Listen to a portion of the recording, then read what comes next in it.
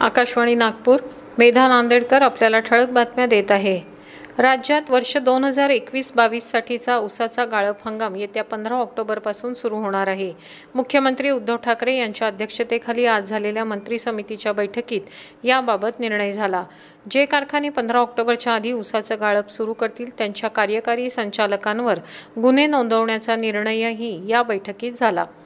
Covid प्रतिबंधक लसीकरण मोहिमेत भारतानं आज पंच्याहत्तर कोटी मात्रांचा टप्पा ओलांडला. ही ऐतिहासिक कामगिरी असून स्वस्थ भारत समृद्ध भारतच्या दिशेनं टाकलेलं हे महत्त्वाचं पाऊल आहे असं माहिती आणि प्रसारण मंत्री अनुराग ठाकूर यांनी म्हटलं आहे. लोकांनी स्वतःहून लवकरात लवकर लसीकरण करून घ्यावं असं आवाहन त्यांनी केलं. बँक खात्यासाठी वैयक्तिक माहिती मागणाऱ्या बनावट संदेशांपासून सावध राहण्याचा इशारा रिझर्व्ह बँकेनं दिला आहे. बँकेत खातं उघडताना दिलेली वैयक्तिक माहिती अद्ययावत करायची आहे असं सांगणारे संदेश ग्राहकांना phone call S M S mail किंवा इतर माध्यमातून येतात आणि त्यातली माहिती वापरून खात्यातले पैसे लांबवले जातात अशा तक्रारी रिझर्व्ह बँकेकडे आल्या असून त्या पार्श्वभूमीवर विविध पावलं बँकेनं उचलली आहेत. तसंच कोणत्याही परिस्थितीत PIN O T P log in password किंवा इतर महत्त्वाची गोपनीय माहिती देऊ नये असं रिझर्व्ह बँकेनं बजावलं आहे. केंद्रीय मंत्री नितीन गडकरी यांच्या मार्गदर्शनात नागपुरात अनेक पर्यावरणपूरक प्रकल्प राबवण्यात येत आहे. पर्यावरणपूरक metro e rickshaw electric bus C N जीवर चालणाऱ्या शहर बस असे अनेक प्रकल्प पहिल्यांदा नागपुरातून सुरू झालेत.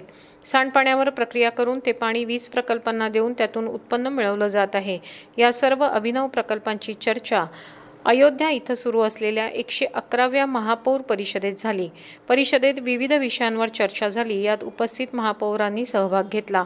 शहर विकासात आपलं शहर या विषयावरील सत्रात महापौर दयाशंकर तिवारी यांनी नागपूर शहरातील विविध प्रकल्पांची माहिती दिली. बावीस ऑगस्ट दोन हजार एकवीसपासून कन्याकुमारी इथून सुरू झालेली केंद्रीय राखीव पोलीस दलाच्या सायकल रॅलीचं आज यवतमाळ जिल्ह्यात दिमाखात आगमन झालं. ही सायकल रॅली असल्यानं कोणत्याही प्रकारचं प्रदूषण होणार नसून पर्यावरणाचा संदेश यातून दिला जात आहे असं या रॅलीचे प्रमुख संयोजक सिंग यांनी यावेळी सांगितलं. ही रॅली उद्या वर्धा जिल्ह्यातल्या सेवाग्राम इथल्या बापू कुटी आश्रममध्ये पोहोचणार आहे. माजी केंद्रीय मंत्री आणि काँग्रेसचे राज्यसभा खासदार ऑस्कर फर्नांडिस यांचं आज कर्नाटकात मंगळुरू इथं निधन झालं. ते ऐंशी वर्षांचे होते. गेल्या काही दिवसांपूर्वी ऑस्कर फर्नांडिस यांच्या डोक्याला दुखापत झाल्यानं मेंदूत रक्ताच्या गुठळ्या तयार झाल्या होत्या. त्या काढून टाकण्यासाठी शस्त्रक्रिया करण्यात आली होती. या उपचारादरम्यान फर्नांडिस यांचं आज निधन झालं. केंद्रात संयुक्त पुरोगामी आघाडी सरकारमध्ये परिवहन मंत्री असलेले फर्नांडिस हे अखिल भारतीय काँग्रेस समितीच्या केंद्रीय निवडणूक प्राधिकरणाचे अध्यक्ष होते. कोरोनाविषयक माहितीसाठी राज्याच्या शून्य दोन शून्य दोन सहा एक दोन सात तीन नऊ चार या क्रमांकावर संपर्क साधावा. याबरोबरच हे बातमीपत्र संपलं. नमस्कार.